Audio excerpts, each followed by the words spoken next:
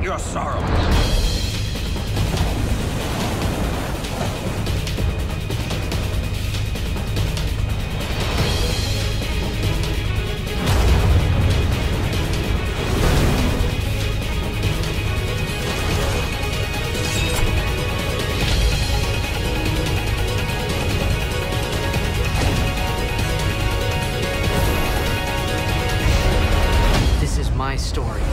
It'll go the way I want it.